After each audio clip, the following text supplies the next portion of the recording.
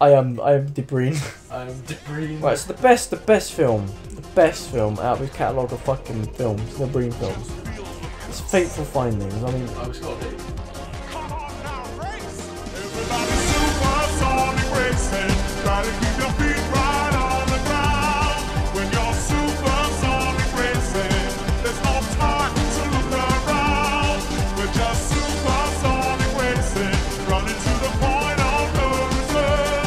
Got it's got to be. It's four point six, but it's got to be. Yeah. I mean, look in in the in the Wikipedia thing, I just thinking up. It said it was compared to The Room because it's that good Yeah. of a film. I mean, The Room is an absolutely fucking masterpiece. So- To be fair, if this is what it's being compared to, fucking hell, you know what I mean? In this very famous film, we have uh, Neil Breen, who, pl- who plays as Dylan. Who plays himself. Yeah, we got uh, Clara Landrat as Emily, his his like wife, What? Which one? The one that is Uh, uh, the- pill, pill addict. the one who's a fucking drug addict. addict, addict yeah. Yeah. Uh, you got uh, Jennifer. Out Autry, yeah. who's Leah, who's like the main sort of like his secret crush sort of woman thing. Yeah. David Silver as Jim, your boy Jim. Uh, I'm only going through the uh, characters that actually matter somehow in this film. Uh, Victoria Veveros, or whatever the fuck, as Amy. That's Jim's wife, if you didn't know.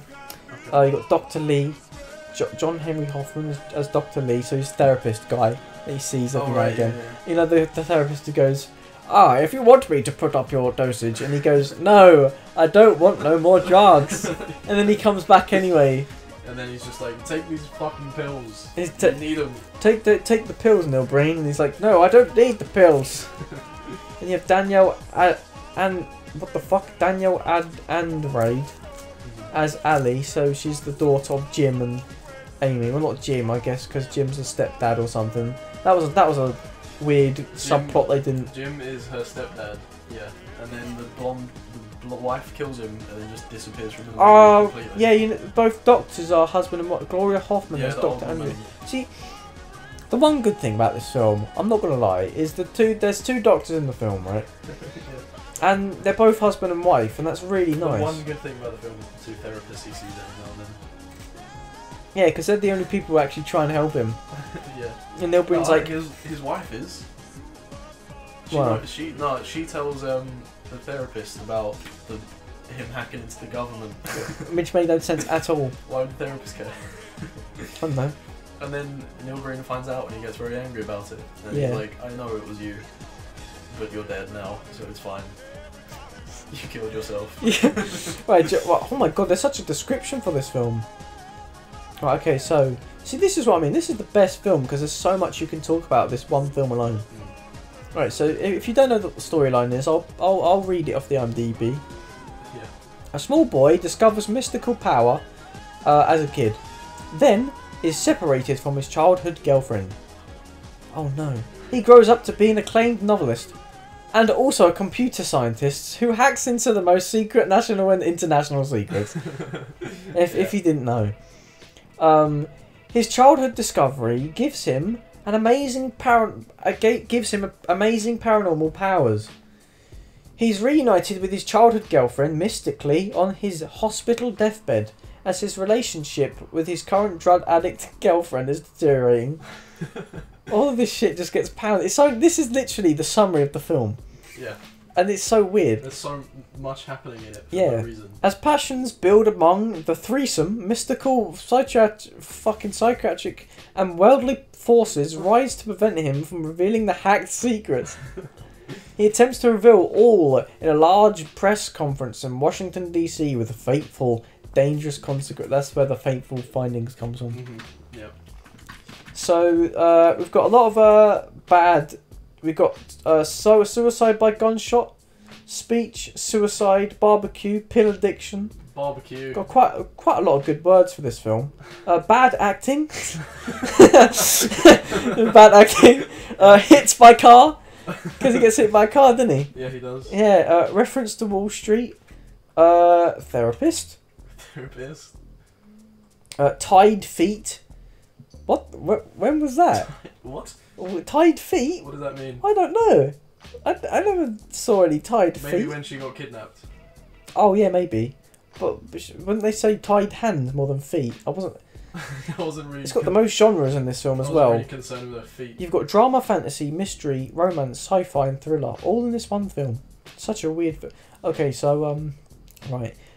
Oh, oh, this is interesting. Although not acknowledged as such, this film is actually a remake of Double Down.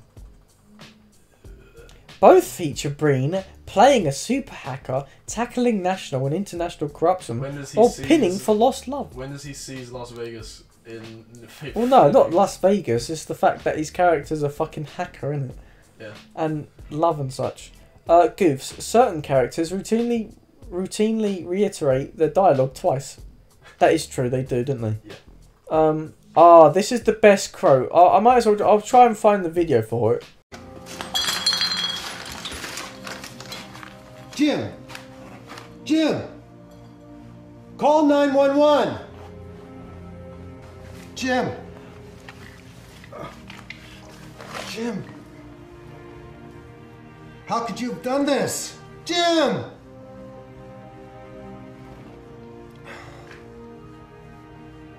I can't believe you committed suicide. I cannot believe you committed suicide. How could you have done this? How could you have committed suicide? I can't help you out of this one, Jim. With all we've been through, I can't pull you out of this one.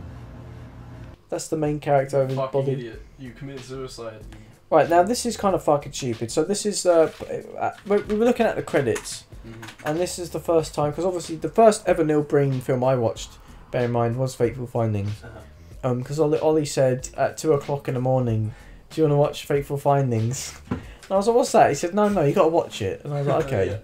I can't explain it to you. You can't, you can't explain a Neil Breen. I'm, I'm trying to right now. You just can't. Yeah. And he basically showed me this film, and I read the description and everything. I, it was the shit. I've never laughed so hard at a film. Honestly, it's like a student film, but imagine if that person like he's done several of these films, and they're all equally as poo. yeah. But Fateful Findings, I think, is the best one, simply because of the fact that it's so random. Mm.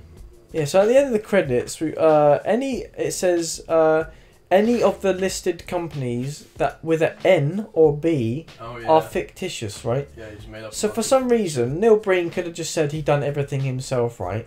Yeah. But instead, he was he, he wanted to make his he wanted film. to pretend like he wanted to pretend that his film had a lot more stuff. So considering that the names with N or B in it are fictitious, right? He's got NNN Entertainment Partners, uh, Eats N E- Eats Film Incorporated, uh, BB Location Management, or BNB Effects Studio. These are some great. He put a lot of effort. into making them. up. Mainly putting the N or the B in the middle of the lighting N films. Mhm. Lighting in films. Yeah. Okay, so we've got a review for it. Um, bring the booze. I mean, to be fair, you can't. Uh, to be fair, I would like to watch Neil Breen under the influence of uh, alcohol. Just anything. just, yeah, anything. Because by that point, you're just like laughing at how fucking stupid it is anyway. Yep. But because you're fucked anyway, it's fine. Enjoy In all seriousness, this movie is only enjoyable if you have a group of friends and a large amount of alcohol. um, from the low production value, uh, the plot that goes nowhere, and the performances that make the film that it is, it's basically filler. Yes, this movie has been memed uh, the hell to the the to hell and back. I don't know why the guys. to hell and back. Yeah, I don't know why Wow. Right, but I enjoyed it for what it was. Can't say I would watch this film alone sober though. And that was made in 2014. Goddamn. So how many years ago was that? What, What, about seven? What? No, eight? No, what the fuck? Am I- yeah, What a legend. yeah, about eight, eight fucking years ago. What? By what name was Fateful Findings officially released in India? Oh my god. Was released in India? What was it? I don't know. That was a question that someone. I mean, Neil Breen. Find out. Find out. I Yeah. will. Well, I'll find out. Uh, top Gat. Answer. What's the answer? There's there's no answer. Oh, I've got to answer it. Oh, I don't fucking know. I didn't even know it was released in fucking India, let alone fucking anywhere else. Yeah, Faithful Findings was weird. Yeah, I might do a, a video on that maybe because funny. It's so. It's just so. It's such a strange fucking film. Uh, how did you find? Because obviously you looked at it first, didn't you? So what did you? What did you find? Well, I watched it like ages ago in school. I watched a YouTube video on it at my dad's, and it was really funny. So I Mm. watched it on my own, and it was really funny. So I just kind of went around my friends one by one, showed it to them. Do you want to play the trailer? Yes. I'll, I'll play it, I guess.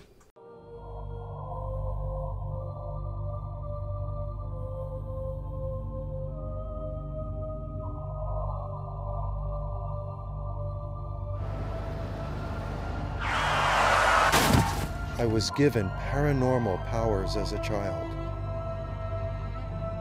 I've hacked into just about all the information I need. They have no idea. No more books! You were given a power. Others want to take this from me. He's writing about government secrets. I knew I loved you when I was eight years old. All this time, I haven't been working on my next book. I've hacked into the most secret government and corporate secrets.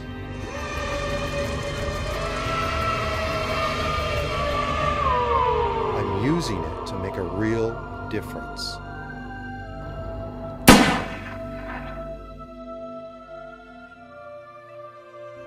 And I'm going to expose them all. Should I be afraid? Should we be afraid? I'm not ready for this! I want to be honest with all of you. I've been hacking into government and corporate systems all over the country. You're going to get yourself killed. But you should be scared because it is the truth. Act now, on your own, outside of the corporate systems and these incompetent politicians. I'm going to get out of here, but you can't see what's about to happen.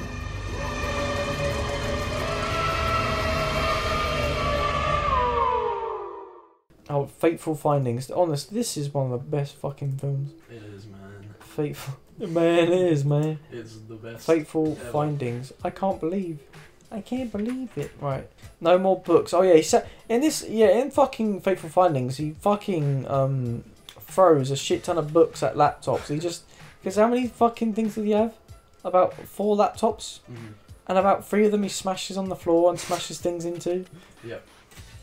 He throws these really big like Bible books at them, and then he also chucks most of his stuff on the floor. Mhm. Oh no, it's so creepy. Oh, it's so weird, isn't it? What? Because you're trying to have sex with the women, and he's naked and stuff in it as well. Yeah. I don't know if He he's does naked. do that a lot too. I don't know if any in any of the other films he was naked or not. Mhm. But for some reason he thought, nah, this is gonna be my my film. You know what I mean? Mhm. Where he thought, yeah, no, I'm gonna like have this actor stand next to me in the shower whilst my penis is out. He just wanted to fuck him. Yeah. He's just an old creepy man. Oh no, that strange scene with that young girl. yeah, that made no That- sense. It was never followed. Right, up. so right for context, there was a scene where uh, Ali, so his best friend's like daughter, like stepdaughter, right? For some reason, at su- randomly, no context beforehand, just fucking walks into uh Neil Breen's swimming pool, yeah. and and she looks at him like some sign, some sort of like uh, goddess, like that strange uh floaty woman that Tony Soprano saw in his back garden that one Oh, time Yeah, yeah. and then it just kind of floated away and there wasn't actually a woman. It was like that, except it was a genuine young girl in the back of this fucking guy's swimming pool. Yep. And he's like, Ali, what are you doing here? And then Ali's just, and then the, the woman, the girl girl's just like, oh yeah, your wife's told me that I could come round any time. And Neil Breen's just saying, no, get out, get get out of here, and all that stuff. But it's the fact that she's like, basically got nothing on. She's literally, she's literally just got a bra on, and at at one point she, She takes takes it she takes it off, Yeah, she does. and then she looks back at Neil Breen, and Neil Breen's just like, what? Like, what's going on? But it's the fact that you even like, oh, it's so, oh, you just think, and all the other things as well. Like he's in that fucking bin bin bag fucking dimension oh, the bin bag dimension. where he's fucking naked in that Yeah. every single time. And then there's multiple. There's like a multiple scene. Oh my god! There's a scene where he's with uh, Leah, so he's like uh, old girlfriend, childhood girlfriend thing. Mm. And um, there's a there's a bit where they're both cradling each other, and at the very end of the clip or whatever, Neil Breen looks up at the camera for some reason, and you could tell that like the cameraman behind it was just like, yeah, so when do you want me to cut? And then Neil Breen was just like, when I look up. And you think for editing, edit editing, oh, the edit, it's such a pooey film. It's funny because it's that bad. Mhm.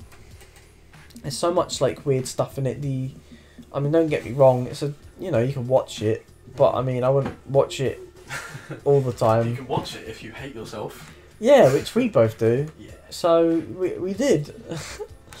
um, yeah, Neil Breen spoke a lot about Neil Breen.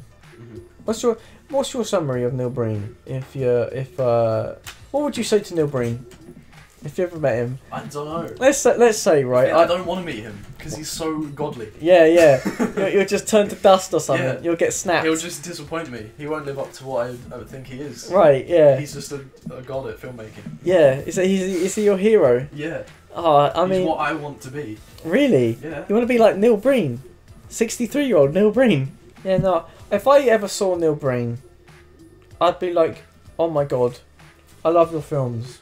Mhm. And he'd be like, yeah, what do you like about them? And I said, and I'll say like the effort that you put into it, Mhm.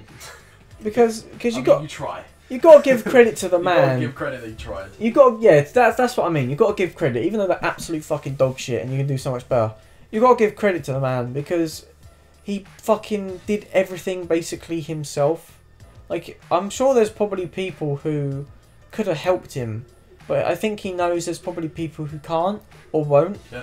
because they think Neil Breen's not as good mm-hmm. because they haven't seen his full potential. You see, and I think I think it's kind of sad because obviously you know he didn't oh, he didn't like he, he wanted to be a filmmaker. He didn't go to film school or anything, so he's learning all this shit himself. But I still think he should have at least done something. but the fact he should have. He should have like. He needs some kind of education. it's yeah, but it's the, it's the fact that like he right first off he writes it. The dialogue in most of his films are really poor because what he does is right he speaks, pauses. Do you want to reenact speaks- what a Neil Breen scene is like? Okay, Yeah, I'll, I'll start us off. so who are you gonna be? I'm gonna be Neil Breen. You're gonna be I Neil have to be Neil Breen. I'll right? be I'll be uh Jim. Okay. Jim. You can't do that. Dylan, you're my good friend. We've been friends for many years. Yeah, we have Dylan, but you just got hit by a car. I love you, man. You, Do you want to do another scene? I've been hacking the government for 10 years, and I finally got the secrets I need to expose them governments. I'm just going to pop into my garage and look at my Ferrari. I hope my wife doesn't kill me. You better not kill yourself, Jim. You better come You round. know how much you, I hate that. you, you better you better come round to my house and stand outside my door whilst I'm shouting no no no, and also gunshot and not come in until after my wife has led. fled. I mean, Okay, Jim. I'll hold you to that. Ha ha ha ha. Silly Jim. and that's a scene from uh, one of Neil Breen's films. Oh my god, that's a scene from a Neil Breen. Oh my, it's a Neil Breen Oh scene. my god! Oh my god! It's a Neil Breen scene. We've done it. We've made something new. It's a Neil Breen scene. If you haven't seen Neil Breen, you, you, you see the the Neil. Breen scene. Yeah, name of the episode is Neil Breen scene. Fucking hell, See, this shit writes itself. mate. Oh, mate. So I mean, the reason the reason why uh I wanted to do this was to talk about Neil Breen. You know, little uh video thing. This guy is so con. This guy is just fucking content gold. yeah. That's why. I'm doing it. Yeah. So uh, yeah, I mean, if you if you want to watch fucking Neil Breen's shit, man, uh, all you have to do is I don't know, I just mean, search. That's all I Where did to you fucking find it? do. Uh, YMS. YMS. Uh, your, it's a guy on YouTube called Your Movie No, not that you fucking idiot. Like, where did you find it on the internet to watch? Oh, just one, two, three movies. Oh, Just like okay. any, any of them have it usually. Yeah. Okay, so you heard, you heard the the man. You can No. watch it anywhere basically on the internet if you can find it. Um. Yeah. Again, I'd make sure you can actually view it first. Yes. or it's it, or I mean these films aren't exactly HD quality. Yeah. Um, but they are good, I guess. Uh, insanely good at being bad, if you know what I mean. Is they're, they're so good because he doesn't he doesn't know people find it funny. So he Yeah. const- he constantly writes and produces these things that he believes are really good. So he keeps doing the things we find really funny, rather than trying to constantly fix it. Yeah, but there must be some person who said, "Mate, your film's so shit, mate." Yeah, but he just blocks it out. He just doesn't he doesn't care. He just keeps going. mate. He he, he genuinely believes that one day he will be like they he like He'll be Dave. He'll be Dave. He'll be like Tarantino or Scorsese. Yeah. He will be one of them. He just he believes people just don't understand his vision, so he just keeps keeps going. He's such a legendary. He needs to hack the government at least three more times to get it right. Exactly. Yeah, he just needs to keep on hacking He the needs to government. seize Las Vegas. So that was uh, Neil Breen, the Neil Breen scene. We finally made your uh, Neil Breen episode. Yeah, I finally made my Neil Breen episode that um George's been wanting to do this that for a I've been while. wanting to do for a while. Well, no, not a while, like a week. Yeah, like a week. Yeah. So, you know, and we've got some other stuff as well. So, uh, thanks for watching. Uh, Don't die. don't die. Like like the video. So yeah, new videos. Uh, me doing this sort of stuff. Uh, but yeah, so thank you very much. What do you say, Ollie? Fuck you. He says, fuck you. I hope you die And I fuck death. you. I fuck you too. Alright, bye. Pump up the football, pump up the football. Hey, check this out. Sorry, mate, don't take checks. Ah, just loads of money. Sing a song of sixpence, a pocket full of dosh. Dibble, dibble, dibble, dibble, bosh, bosh, bosh. Sing a song of sixpence, a pocket